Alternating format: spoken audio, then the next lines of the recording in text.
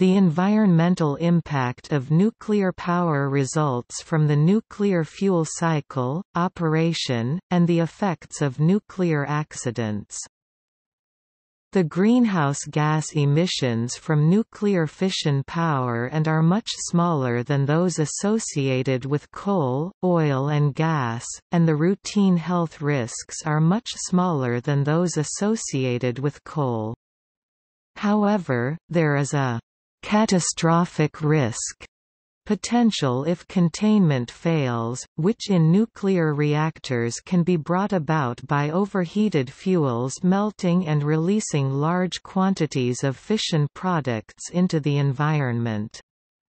This potential risk could wipe out the benefits.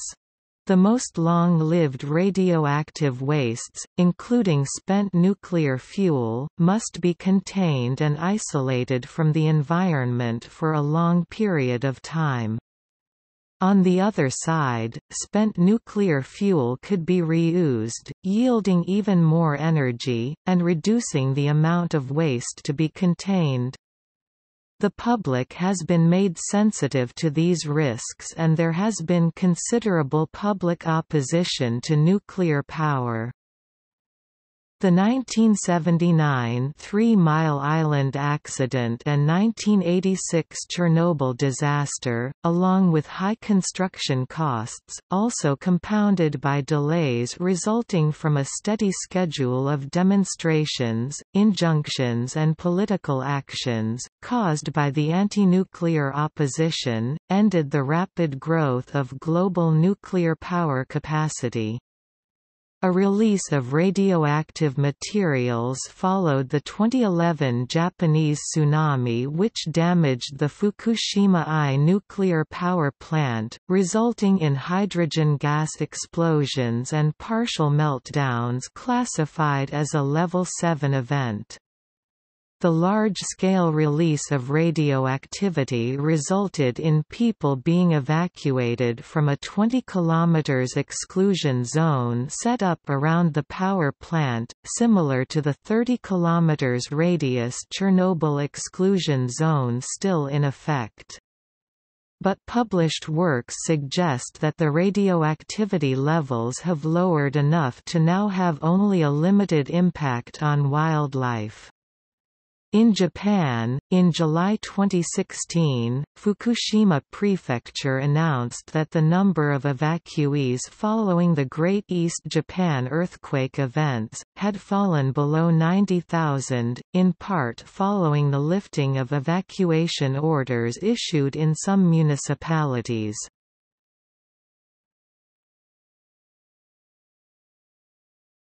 Topic: Waste streams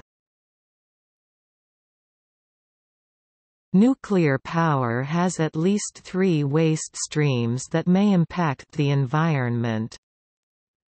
Spent nuclear fuel at the reactor site including fissile products and plutonium waste. Tailings and waste rock at uranium mining mills. Releases of ill-defined quantities of radioactive materials during accidents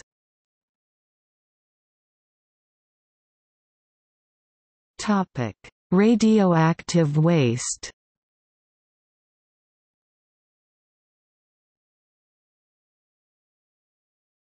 Topic: High-level waste.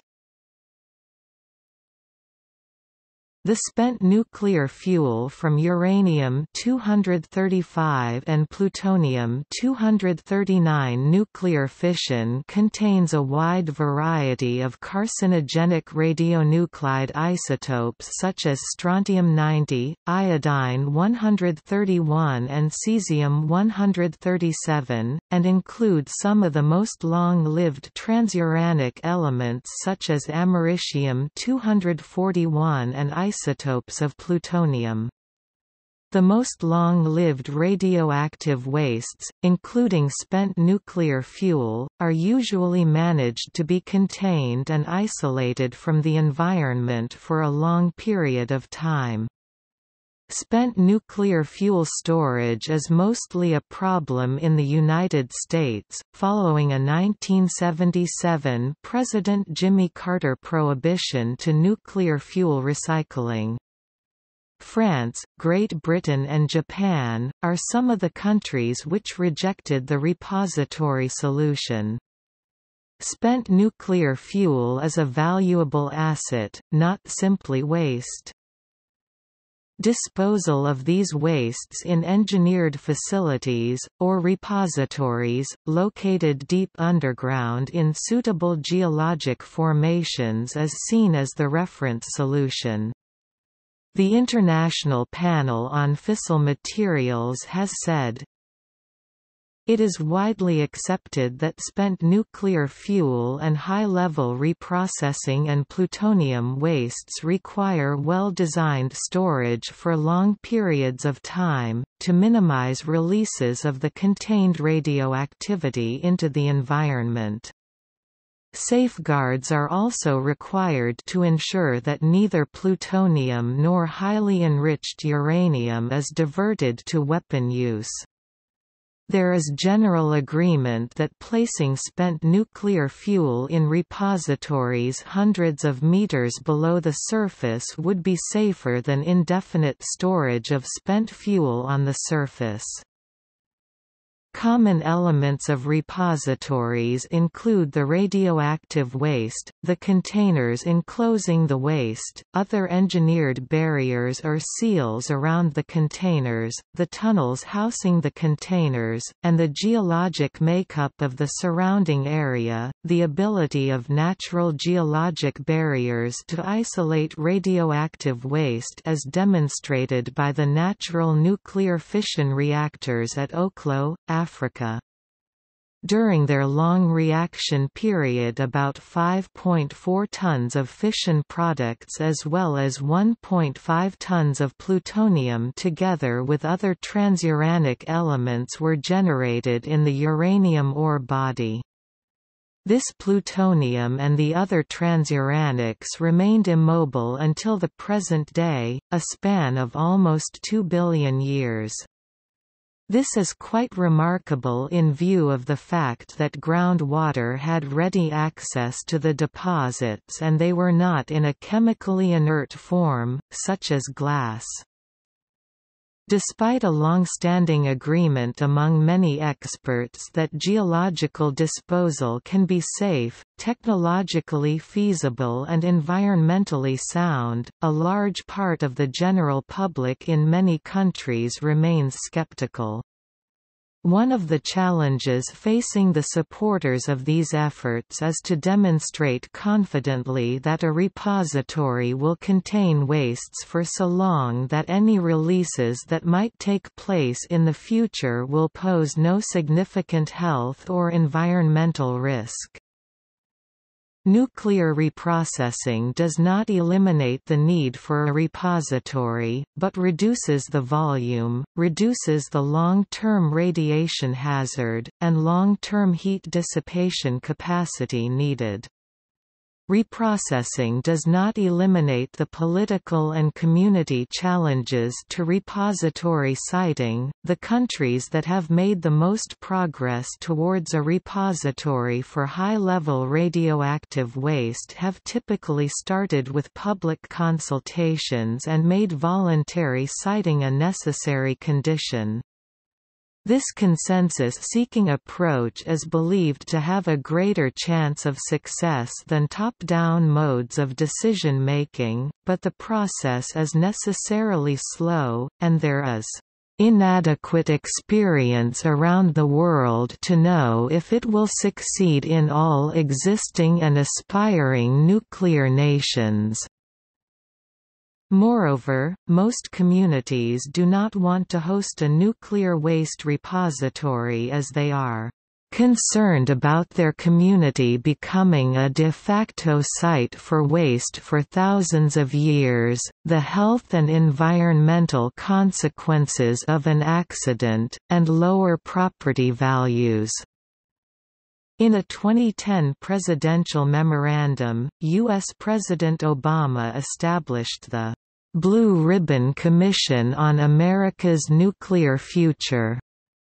The commission, composed of 15 members, conducted an extensive two-year study of nuclear waste disposal. During their research the Commission visited Finland, France, Japan, Russia, Sweden, and the UK, and in 2012, the Commission submitted its final report. The Commission did not issue recommendations for a specific site but rather presented a comprehensive recommendation for disposal strategies. In their final report the Commission put forth seven recommendations for developing a comprehensive strategy to pursue.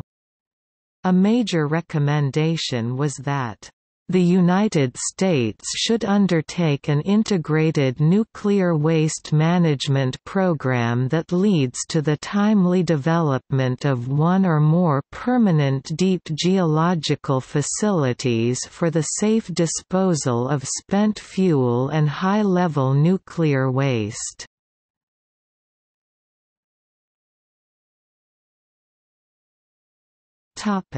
Other waste Moderate amounts of low-level waste are through Chemical and Volume Control System CVCS. This includes gas, liquid, and solid waste produced through the process of purifying the water through evaporation. Liquid waste is reprocessed continuously, and gas waste is filtered, compressed, stored to allow decay, diluted, and then discharged. The rate at which this is allowed is regulated and studies must prove that such discharge does not violate dose limits to a member of the public see radioactive effluent emissions. Solid waste can be disposed of simply by placing it where it will not be disturbed for a few years. There are three low-level waste disposal sites in the United States in South Carolina, Utah, and Washington. Solid waste from the CVCS is combined with solid rad waste that comes from handling materials before it is buried off-site. In the United States environmental groups have said that uranium mining companies are attempting to avoid cleanup costs at disused uranium mine sites. Environmental remediation is required by many states after a mine becomes inactive. Environmental groups have filed legal objections to prevent mining companies from avoiding compulsory cleanups. Uranium mining companies have skirted the cleanup laws by reactivating their mine sites briefly from time to time.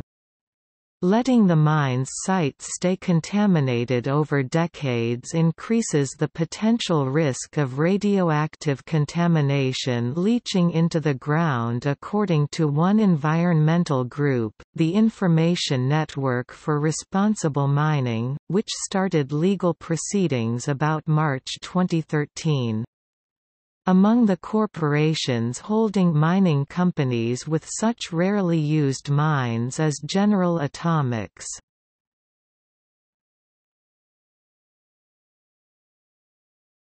Topic: Power plant emission.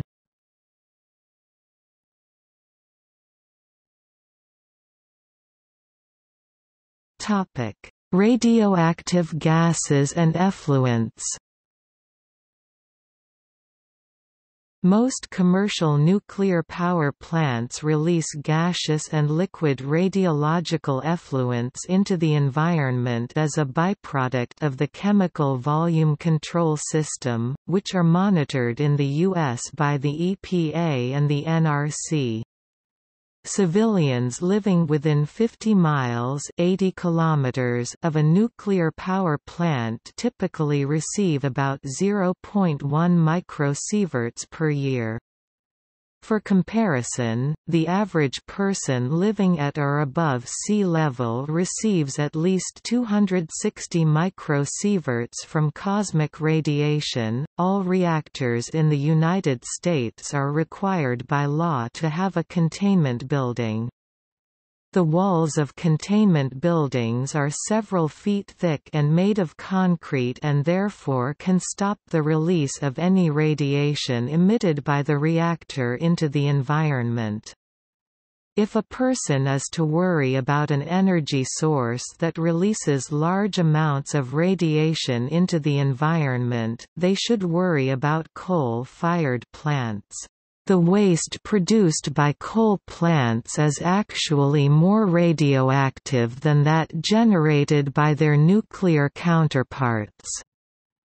In fact, the fly ash emitted by a coal power plant a byproduct from burning coal for electricity carries into the surrounding environment 100 times more radiation than a nuclear power plant producing the same amount of energy.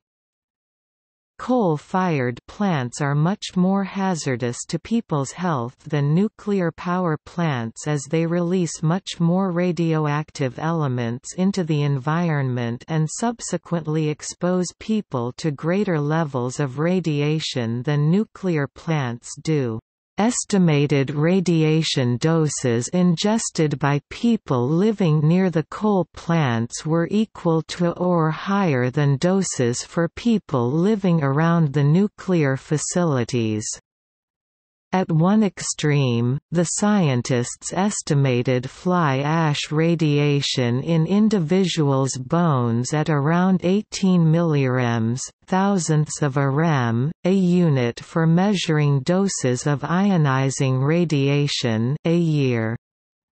Doses for the two nuclear plants, by contrast, ranged from between 3 and 6 millirems for the same period and when all food was grown in the area, radiation doses were 50 to 200% higher around the coal plants.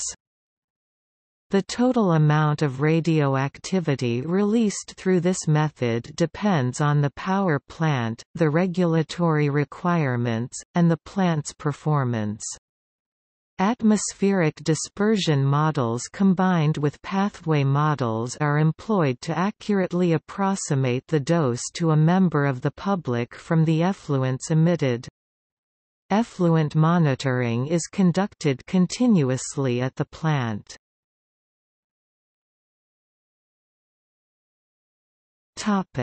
Tritium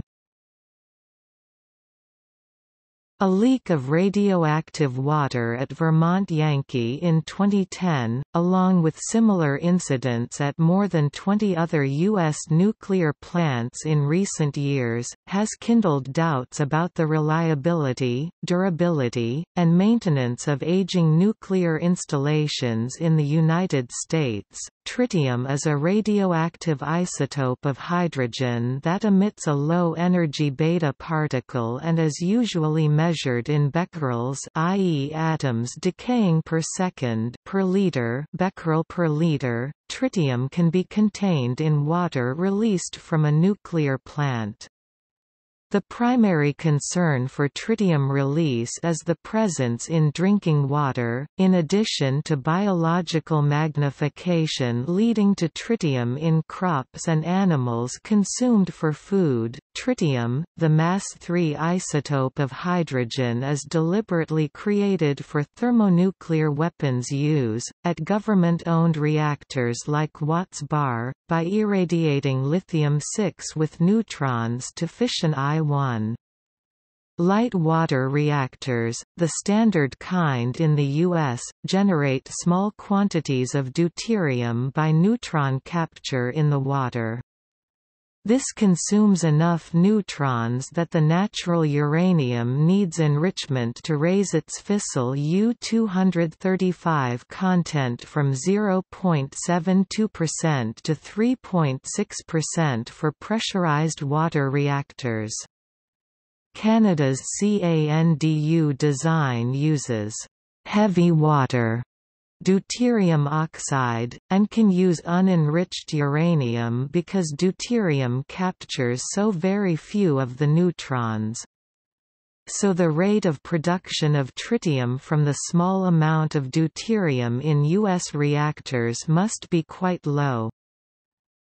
Legal concentration limits have differed greatly from place to place see table right.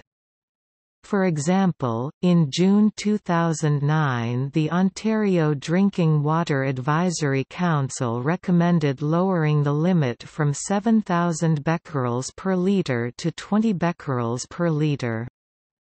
According to the NRC, tritium is the least dangerous radionuclide because it emits very weak radiation and leaves the body relatively quickly.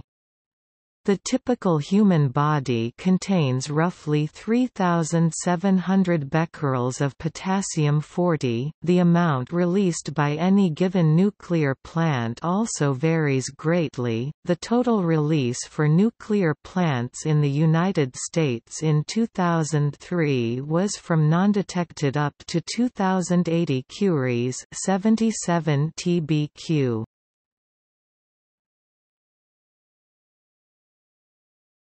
Topic: Uranium mining. Uranium mining is the process of extraction of uranium ore from the ground. The worldwide production of uranium in 2009 amounted to 50,572 tons. Kazakhstan, Canada, and Australia are the top three producers and together account for 63% of world uranium production. A prominent use of uranium from mining is as fuel for nuclear power plants. The mining and milling of uranium present significant dangers to the environment.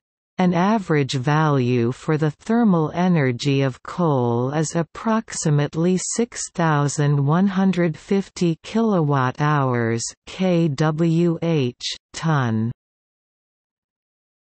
The thermal energy released in nuclear fission produces about 2 by 10 times 10 to the 9 kilowatt-hours ton. It follows that, for the same amount of energy, much less uranium needs to be mined than coal, cutting the environmental impacts of uranium mining on nuclear energy generation. In 2010, 41% of the world's uranium production was produced by in situ leaching, which uses solutions to dissolve the uranium while leaving the rock in place.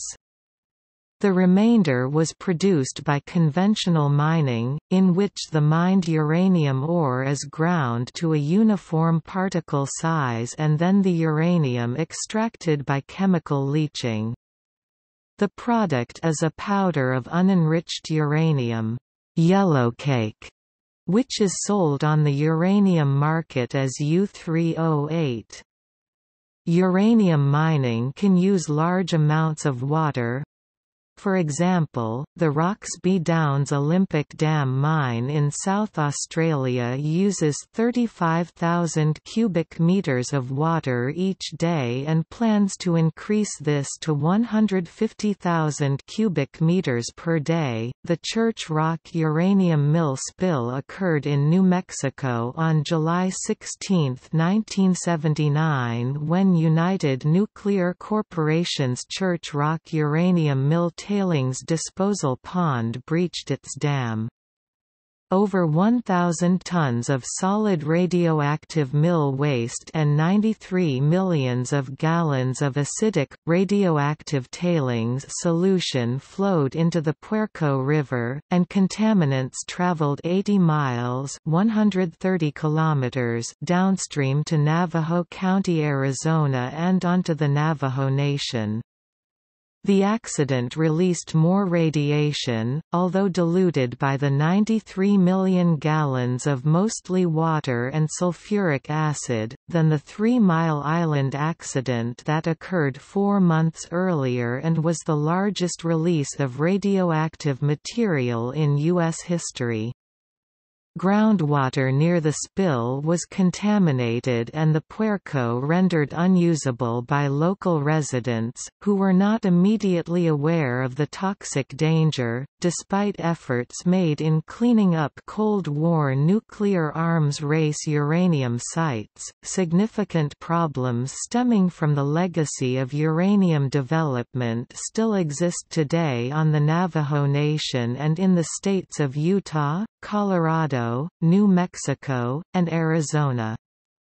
Hundreds of abandoned mines, primarily used for the U.S. arms race and not nuclear energy production, have not been cleaned up and present environmental and health risks in many communities.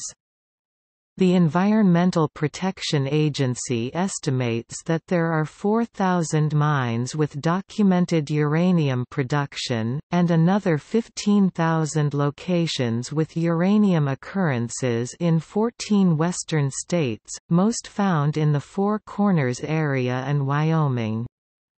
The Uranium Mill Tailings Radiation Control Act is a United States environmental law that amended the Atomic Energy Act of 1954 and gave the Environmental Protection Agency the authority to establish health and environmental standards for the stabilization, restoration, and disposal of uranium mill waste.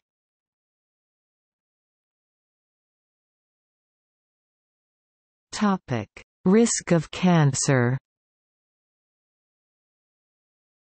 Numerous studies have been done on possible effect of nuclear power in causing cancer. Such studies have looked for excess cancers in both plant workers and surrounding populations due to releases during normal operations of nuclear plants and other parts of the nuclear power industry, as well as excess cancers in workers and the public due to accidental releases. There is agreement that excess cancers in both plant workers and the surrounding public have been caused by accidental releases such as the Chernobyl accident. There is also agreement that some workers in other parts of the nuclear fuel cycle, most notably uranium mining, at least in past decades, have had elevated rates of cancer. However, numerous studies of possible cancers caused by nuclear power plants in normal operation have come to opposing conclusions, and the issue is a matter of scientific controversy and ongoing study. There have been several epidemiological studies that say there is an increased risk of various diseases, especially cancers, among people who live near nuclear facilities. A widely cited 2007 meta-analysis by Baker et al. of 17 research papers was published in the European Journal of Cancer Care. It offered evidence of elevated leukemia rates among children living near 136 nuclear facilities in the United Kingdom, Canada, France, United States, Germany, Japan, and Spain. However this study has been criticized on several grounds, such as combining heterogeneous data different age groups, sites that were not nuclear power plants, different zone definitions, arbitrary selection of 17 out of 37 individual studies, exclusion of sites with zero observed cases or deaths, etc. Elevated leukemia rates among children were also found in a 2008 German study by Kaatsch et al., that examined residents living near 16 major nuclear power plants in Germany. This study has also been criticized on several grounds. These 2007 and 2008 results are not consistent with many other studies that have tended not to show such associations. The British Committee on Medical Aspects of Radiation in the Environment issued a study in 2011 of children under 5 living near 13 nuclear power plants in the UK during the period 1969 to 2004. The committee found that children living near power plants in Britain are no more likely to develop leukemia than those living elsewhere similarly. A 1991 study for the National Cancer Institute found no excess cancer mortalities in 107 U.S. counties close to nuclear power plants. However, in view of the ongoing controversy, the U.S. Nuclear Regulatory Commission has requested the National Academy of Sciences to oversee a state-of-the-art study of cancer risk in populations near NRC-licensed facilities, a subculture of frequently undocumented nuclear workers do the dirty, difficult, and potentially dangerous work shunned by regular employees. The World Nuclear Association states that the transient workforce of nuclear gypsies casual workers employed by subcontractors has been part of the nuclear scene for at least four decades. Existent labor laws protecting workers' health rights are not properly enforced. A 15-country collaborative cohort study of cancer risks due to exposure to low-dose ionizing radiation, involving 407,391 nuclear industry workers showed significant increase in cancer mortality. The study evaluated 31 types of cancers, primary and secondary. Nuclear power reactor accidents can result in a variety of radioisotopes being released into the environment. The health impact of each radioisotope depends on a variety of factors. Iodine-131 is potentially an important source of morbidity in accidental discharges because of its prevalence and because it settles on the ground. When iodine-131 is released, it can be inhaled or consumed after it enters the food chain, primarily through contaminated fruits, vegetables, milk, and groundwater. Iodine 131 in the body rapidly accumulates in the thyroid gland, becoming a source of beta radiation. The 2011 Fukushima Daiichi nuclear disaster, the world's worst nuclear accident since 1986, displaced 50,000 households after radiation leaked into the air, soil and sea. Radiation checks led to bans of some shipments of vegetables and fish. Production of nuclear power relies on the nuclear fuel cycle, which includes uranium mining and milling. Uranium workers are routinely exposed to low levels of radon decay products and gamma radiation. Risks of leukemia from acute and high doses of gamma radiation are well known, but there is a debate about risks from lower doses. The risks of other hematological cancers in uranium workers have been examined in very few studies.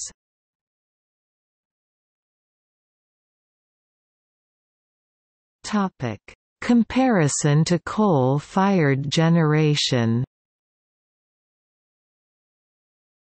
In terms of net radioactive release, the National Council on Radiation Protection and Measurements NCRP estimated the average radioactivity per short ton of coal as 17,100 millicuries, 4 million tons.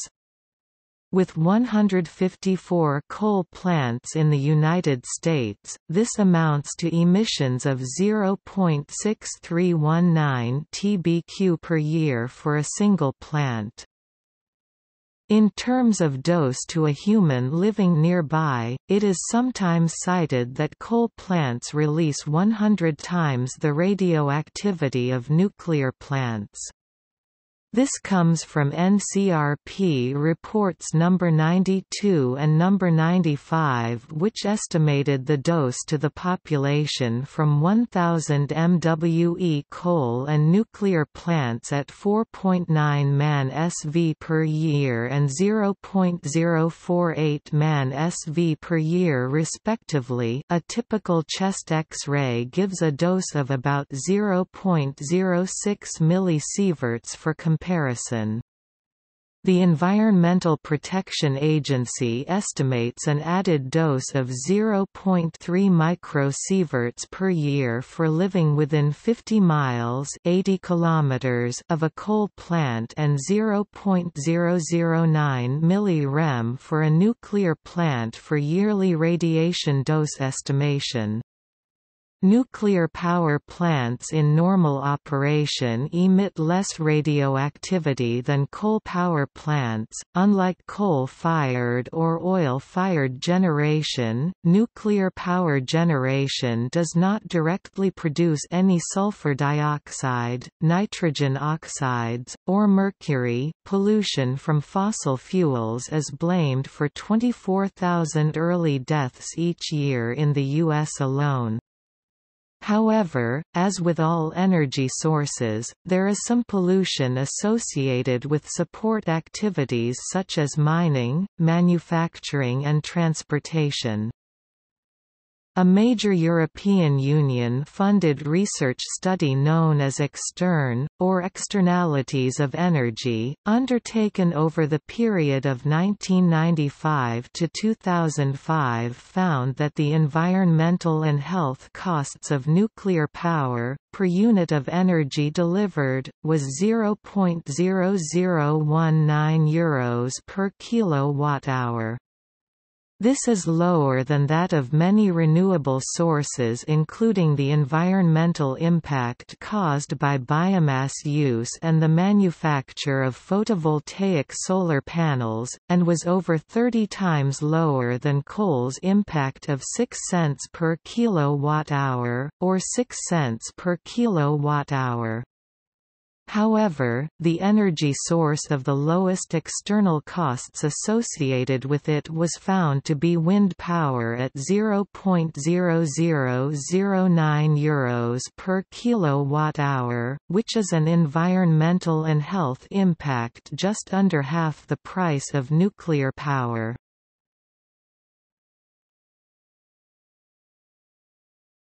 Topic Contrast of radioactive accident emissions with industrial emissions Proponents argue that the problems of nuclear waste do not come anywhere close to approaching the problems of fossil fuel waste. A 2004 article from the BBC states the World Health Organization (WHO) says 3 million people are killed worldwide by outdoor air pollution annually from vehicles and industrial emissions, and 1.6 million indoors through using solid fuel. In the U.S. alone, fossil fuel waste kills 20,000 people each year.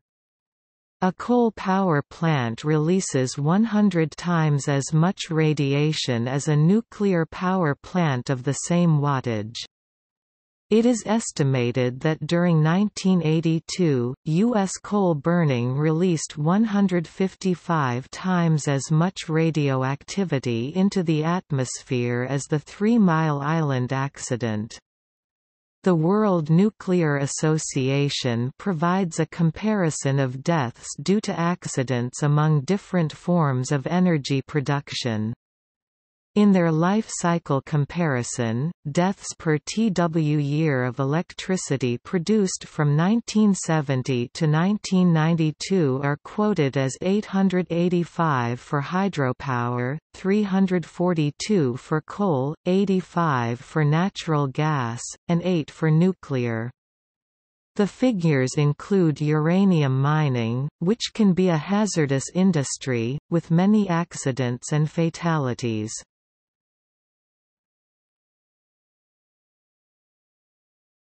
Topic: Waste heat.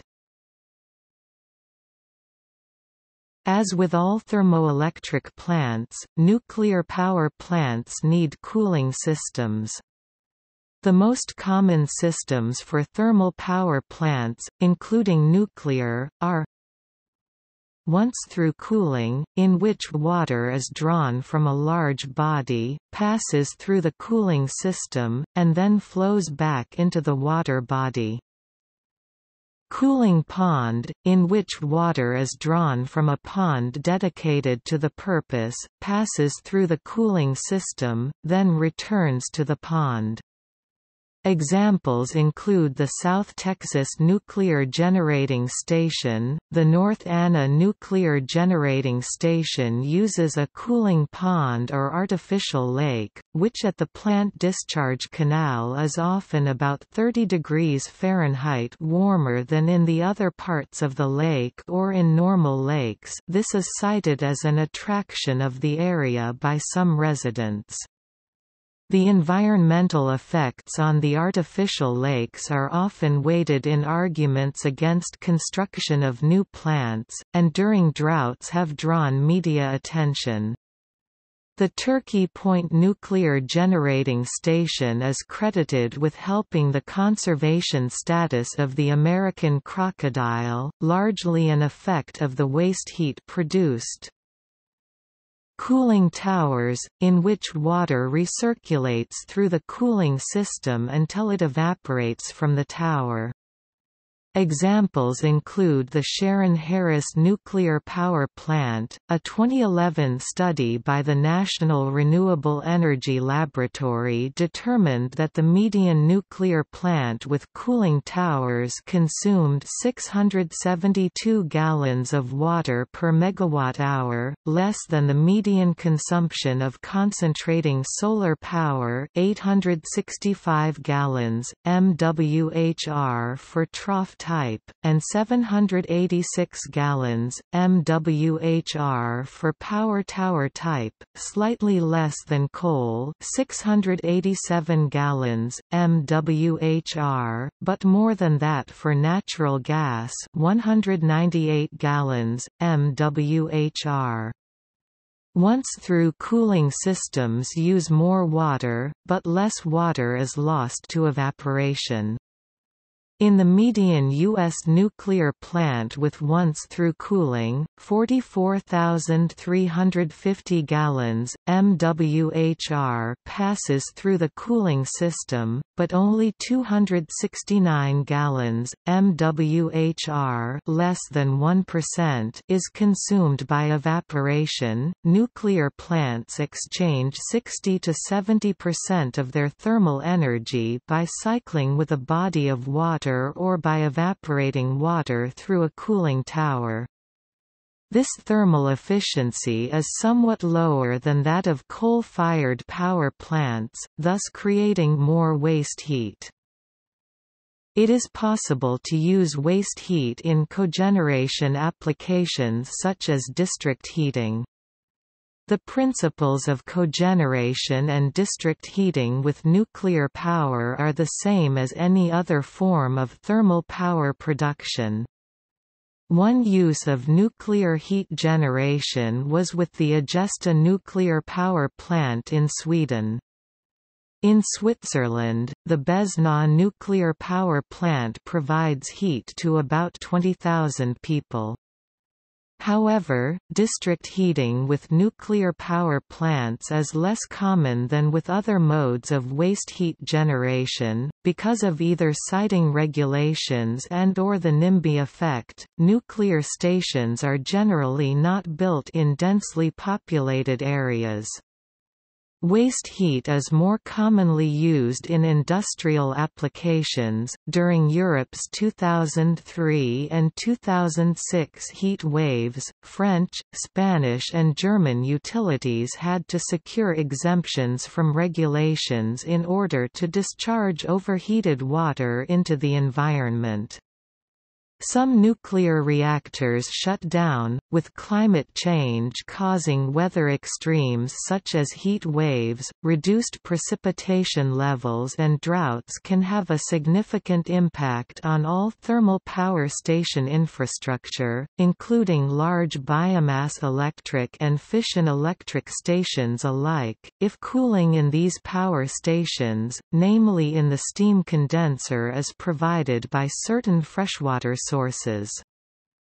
A number of thermal stations use indirect seawater cooling or cooling towers that in comparison use little to no freshwater, while during heat waves, those that were designed to heat exchange with rivers and lakes, are under regulations to reduce output or cease operations to protect water levels and aquatic life.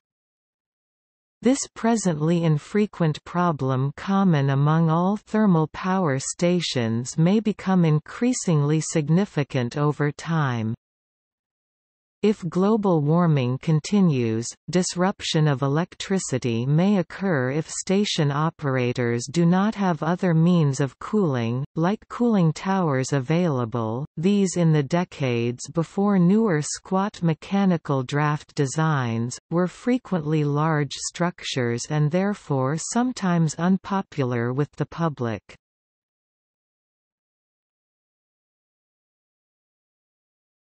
Topic Water consumption and risks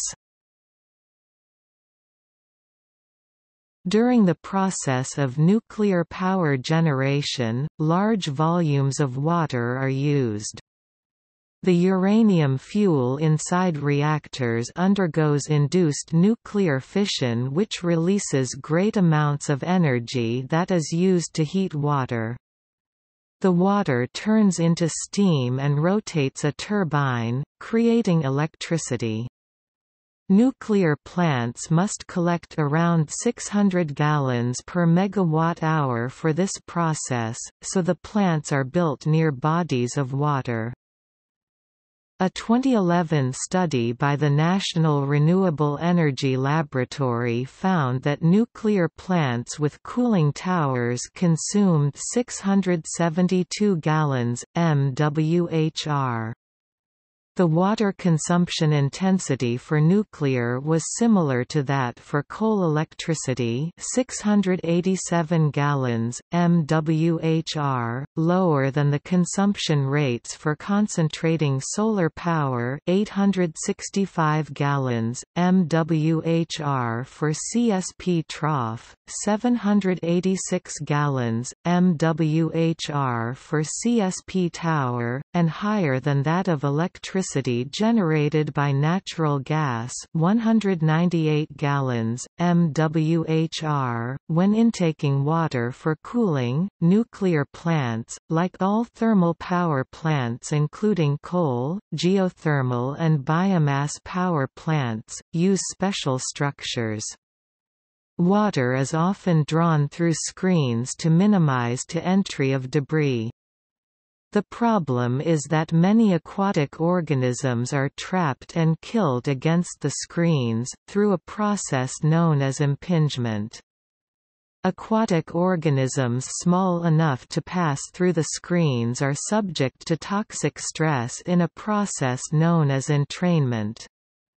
Billions of marine organisms, such as fish, seals, shellfish, and turtles, essential to the food chain, are sucked into the cooling systems and destroyed.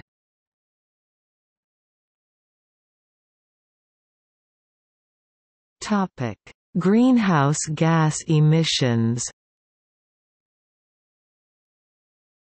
Many stages of the nuclear fuel chain, mining, milling, transport, fuel fabrication, enrichment, reactor construction, decommissioning and waste management use fossil fuels, or involve changes to land use, and hence emit carbon dioxide and conventional pollutants.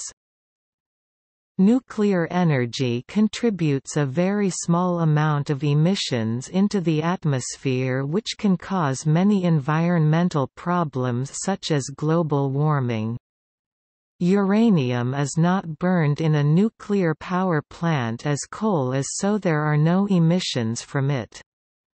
All of the waste that comes from the fission of uranium stays in the plant and is therefore able to be disposed of in a safe way in which the uranium is kept out of the environment.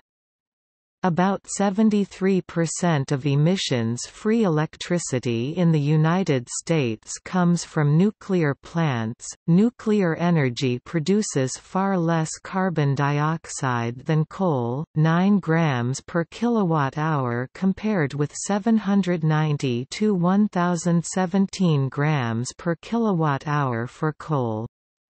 Also, nuclear energy produces the same amount if not less greenhouse gases than renewable resources.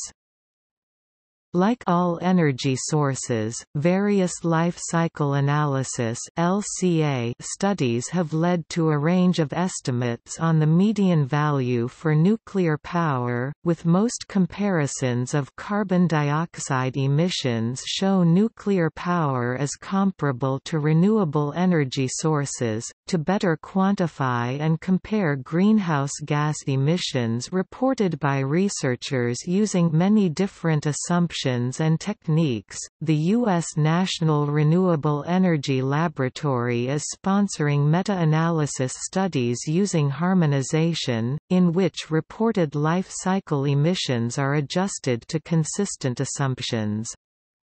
The results commonly narrow the range of carbon emissions for a given energy source.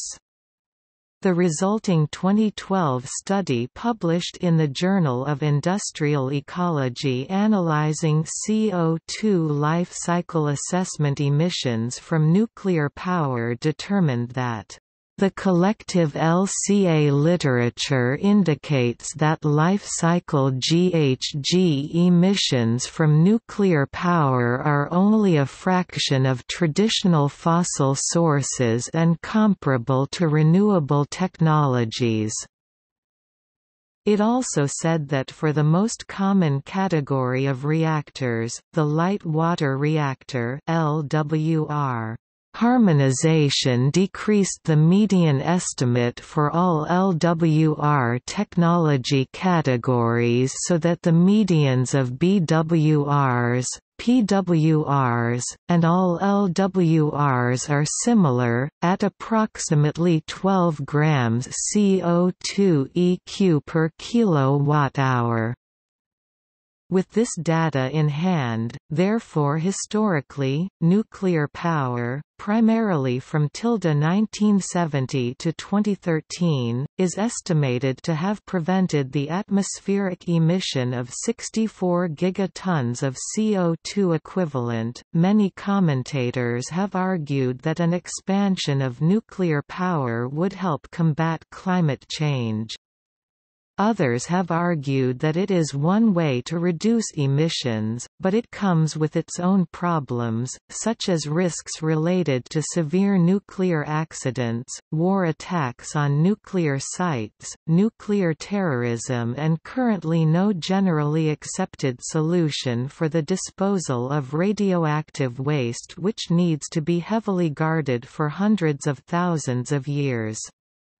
These advocates also believe that there are better ways of dealing with climate change than investing in nuclear power, including the improved energy efficiency and greater reliance on decentralized and renewable energy sources. There is also some uncertainty surrounding the future GHG emissions of nuclear power, which has to do with the potential for a declining uranium ore grade with without a corresponding increase in the efficiency of enrichment methods. In a scenario analysis of future global nuclear development, as it could be effected by a decreasing global uranium market of average ore grade, the analysis determined that depending on conditions, median life cycle nuclear power GHG emissions could be between 9 and 110 grams CO2 EQ per kilowatt-hour by 2050, with the latter figure regarded as an unrealistic, worst-case scenario by the authors of the study, although this future analysis deals with extrapolations for present generation II reactor technology, the same paper also summarizes the literature on FBRs fast breeder reactors, of which two are in operation as of 2014 with the newest being the BN800. For these reactors it states that the median life cycle GHG emissions are similar to or lower than present LWRs and purports to consume little or no uranium ore.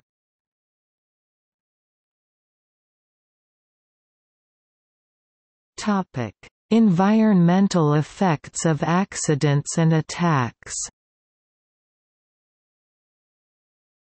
The worst accidents at nuclear power plants have resulted in severe environmental contamination.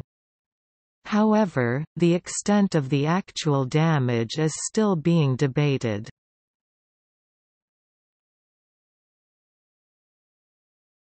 Topic: Fukushima disaster In March 2011 an earthquake and tsunami caused damage that led to explosions and partial meltdowns at the Fukushima I nuclear power plant in Japan.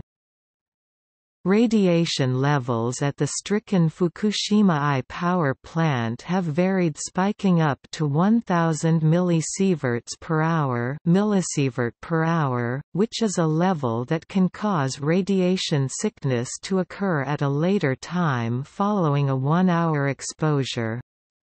Significant release in emissions of radioactive particles took place following hydrogen explosions at three reactors, as technicians tried to pump in seawater to keep the uranium fuel rods cool, and bled radioactive gas from the reactors in order to make room for the seawater. Concerns about the possibility of a large-scale release of radioactivity resulted in 20 km km exclusion zone being set up around the power plant and people within the 20 to 30 km zone being advised to stay indoors.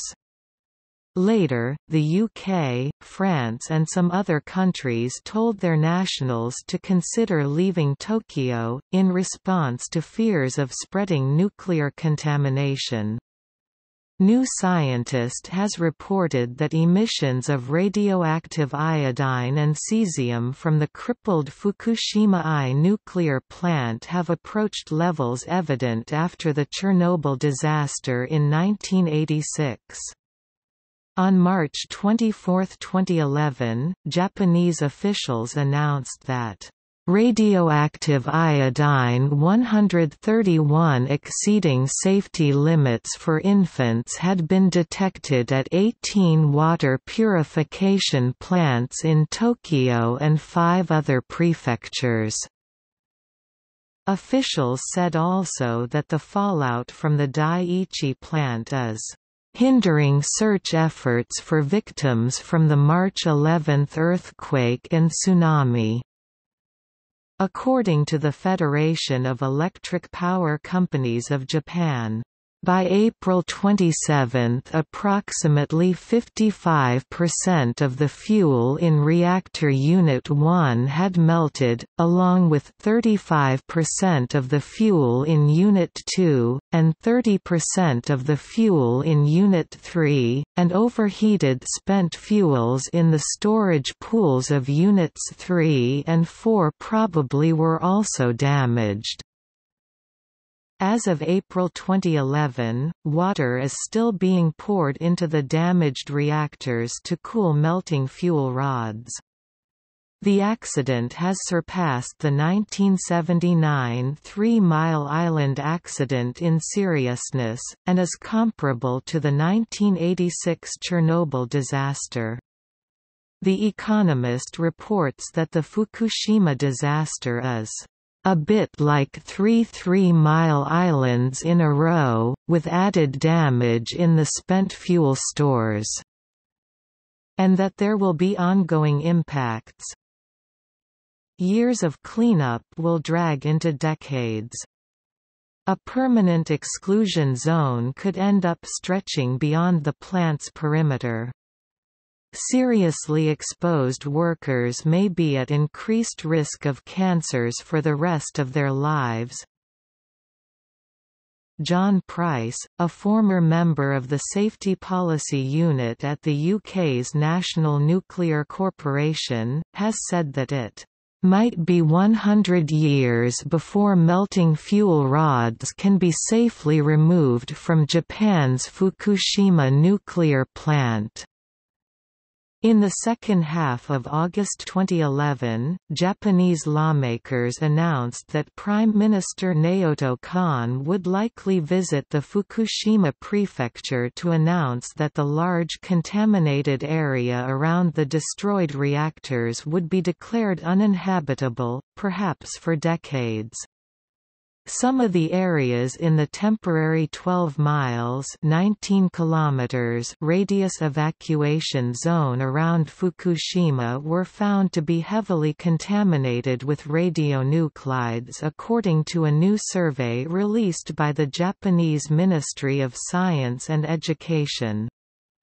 The town of Okuma was reported as being over 25 times above the safe limit of 20 millisieverts per year. Instead, five years later, the government expects to gradually lift the designation of some difficult to return zones, a total 337 square kilometers, 130 square miles area from around 2021. Rain, wind and natural dissipation have removed radioactive contaminants, lowering levels, like at the central district of Okuma town, to 9 millisieverts per year, one-fifth the level of five years ago.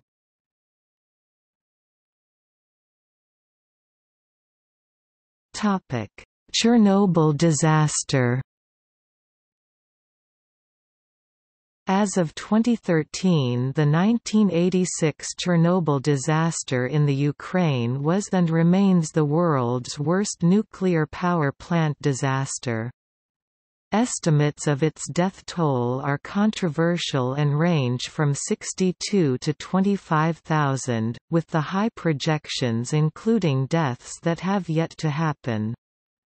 Peer-reviewed publications have generally supported a projected total figure in the low tens of thousands, for example an estimate of 16,000 excess cancer deaths are predicted to occur due to the Chernobyl accident out to the year 2065, whereas, in the same period, several hundred million cancer cases are expected from other causes from International Agency for Research Research on Cancer published in the International Journal of Cancer in 2006.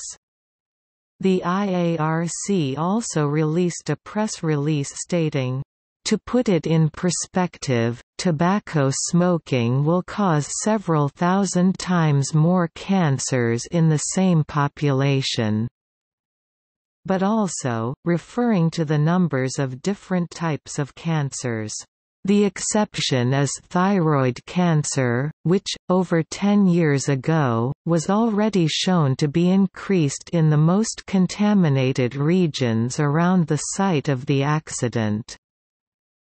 The full version of the World Health Organization Health Effects Report adopted by the United Nations, also published in 2006, included the prediction of, in total, no more of 4,000 deaths from cancer. A paper which the Union of Concerned Scientists took issue with the report, and they have, following the disputed linear no-threshold model LNT model of cancer susceptibility, instead estimated, for the broader population, that the legacy of Chernobyl would be a total of 25,000 excess cancer deaths worldwide. That places the total Chernobyl death toll below that of the worst dam failure accident in history, the Banqiao Dam disaster of 1975 in China. Large amounts of radioactive contamination were spread across Europe due to the Chernobyl disaster, and cesium and strontium contaminated many agricultural products, livestock and soil. The accident necessitated the evacuation of the entire city of Pripyat and of 300,000 people from Kiev, rendering an area of land unusable to humans for an indeterminate period. As radioactive materials decay, they release particles that can damage the body and lead to cancer, particularly cesium-137 and iodine-131. In the Chernobyl disaster, releases of cesium-137 contaminated land. Some communities, including the entire city of Pripyat, were abandoned permanently. One news source reported that thousands of people who drank milk contaminated with radioactive iodine developed thyroid cancer. The exclusion zone approximately 30 km radius around Chernobyl may have significantly elevated levels of radiation, which is now predominantly due to the decay of cesium-137, for around 10 half-lives of that isotope, which is approximately for 300 years, due to the bioaccumulation of cesium-137, some mushrooms as well as wild animals which eat them, e.g. wild boars hunted in Germany and deer in Austria, may have levels which are not considered safe for human consumption. Mandatory radiation testing of sheep in parts of the UK that graze on lands with contaminated peat was lifted in 2012. In 2007, the Ukrainian government declared much of the Chernobyl exclusion zone, almost 490 square kilometers, 190 square miles, a zoological animal reserve with many species of animals experiencing a population increase since human influence has largely left the region, including an increase in moose, bison and wolf numbers. However other species such as barn swallows and many invertebrates, e.g. spider numbers are below what is suspected with much controversy amongst biologists over the question of, if in fact Chernobyl is now a wildlife reserve.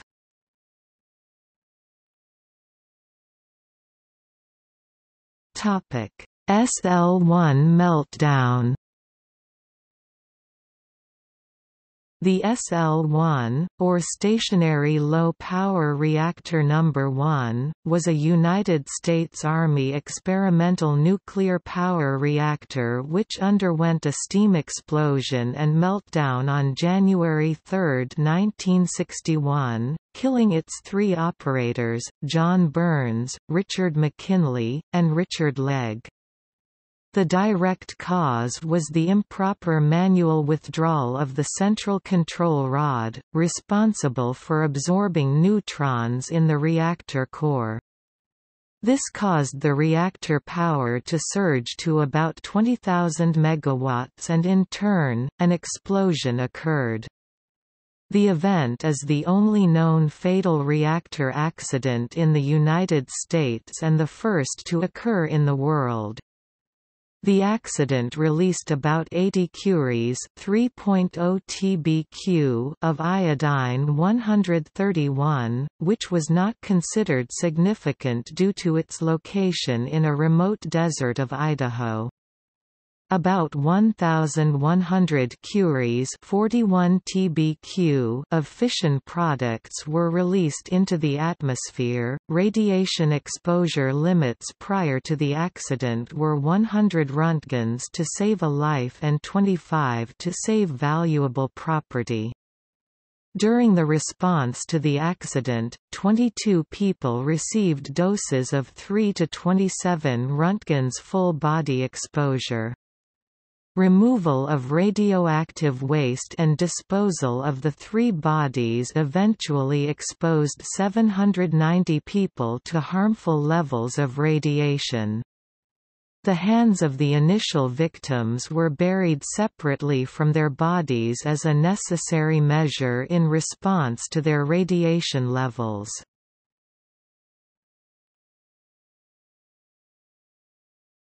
Topic Attacks and sabotage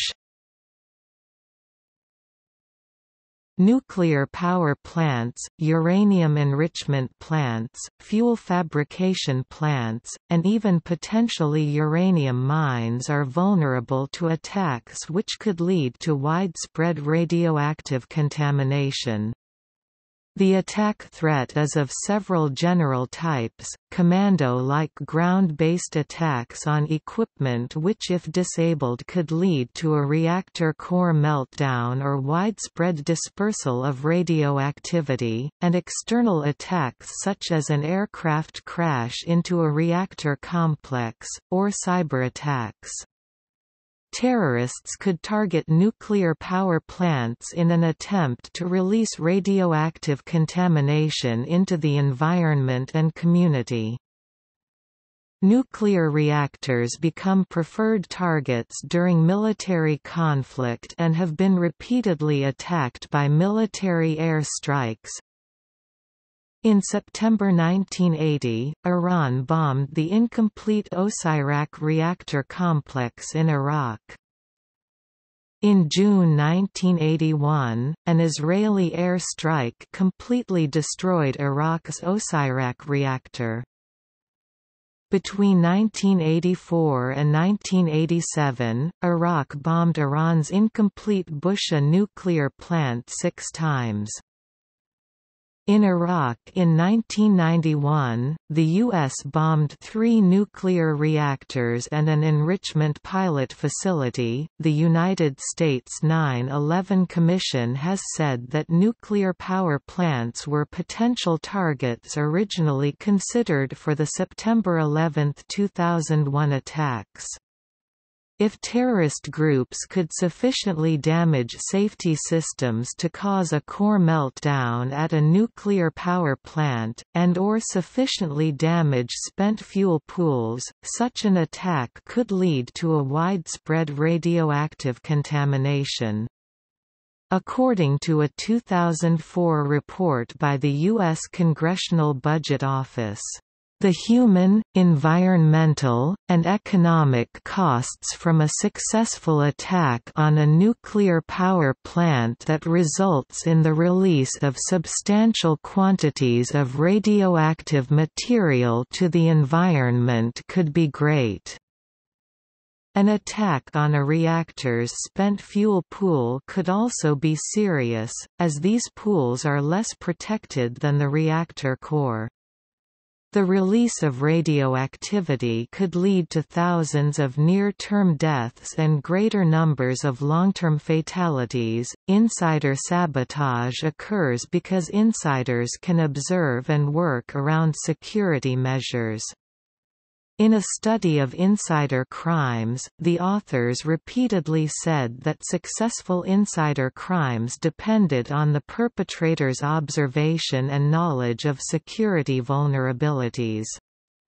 Since the atomic age began, the U.S. Department of Energy's nuclear laboratories have been known for widespread violations of security rules.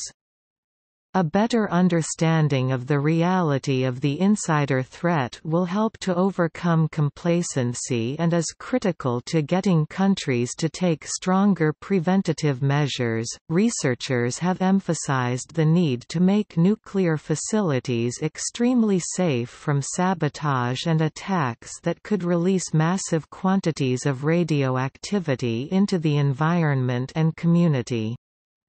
New reactor designs have features of passive safety, such as the flooding of the reactor core without active intervention by reactor operators. But these safety measures have generally been developed and studied with respect to accidents, not to the deliberate reactor attack by a terrorist group. However, the U.S. Nuclear Regulatory Commission does now requires new reactor license applications to consider security during the design stage.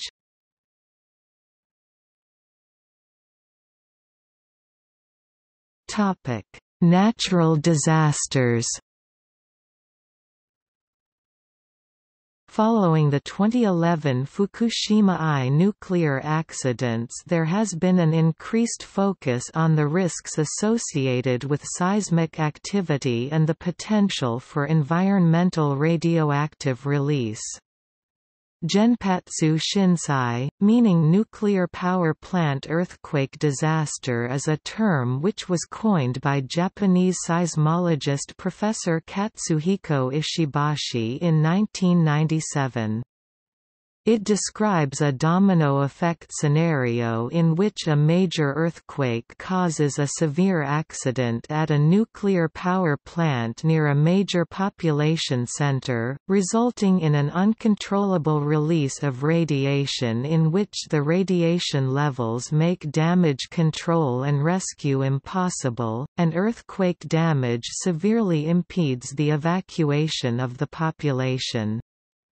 Ishibashi envisages that such an event would have a global impact seriously affecting future generations. The 1999 Blayais nuclear power plant flood was a flood that took place on the evening of December 27, 1999. It was caused when a combination of the tide and high winds from the extratropical storm Martin led to the sea walls of the Blayais nuclear power plant in France being overwhelmed. The event resulted in the loss of the plant's off-site power supply and knocked out several safety-related systems, resulting in a Level 2 event on the International Nuclear Event Scale.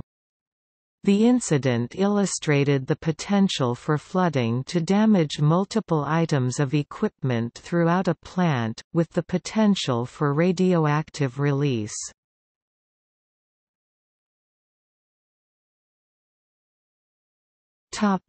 Sustainability According to Joshua M. Pearce of Michigan Technological University, on a global scale a sustainable nuclear power system would entail, I dramatically improving efficient energy use and greenhouse gas emissions intensity by updating technology and functionality through the entire life cycle, e improving nuclear security to reduce nuclear power risks and making sure ensure that the nuclear industry can operate without large public nuclear accident insurance subsidies, e eliminating all radioactive waste at the end of life and minimizing the environmental impact during the nuclear fuel cycle, and IV the nuclear industry must regain public trust or face obsolescence, as a diverse range of renewable energy technologies are quickly commercialized commercialized. Pearce also believes that the nuclear industry must address the issue of equity, both in the present and for later generations.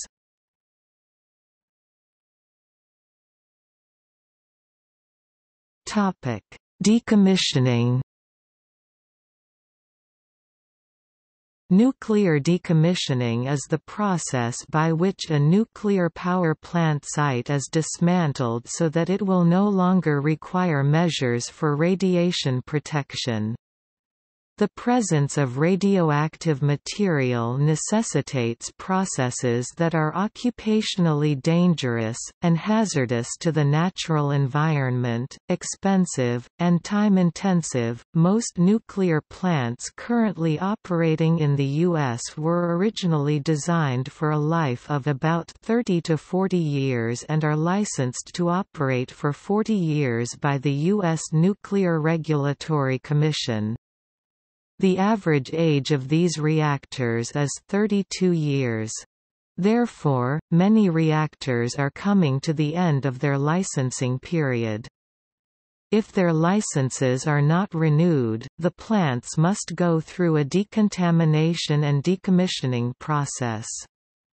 Many experts and engineers have noted there is no danger in these aged facilities, and current plans are to allow nuclear reactors to run for much longer lifespans. Decommissioning is an administrative and technical process. It includes cleanup of radioactivity and progressive demolition of the plant. Once a facility is fully decommissioned, no danger of a radiologic nature should persist.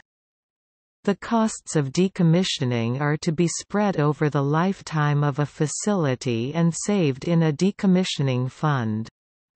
After a facility has been completely decommissioned, it is released from regulatory control, and the licensee of the plant will no longer be responsible for its nuclear safety.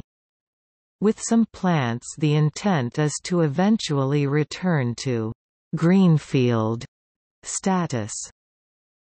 See also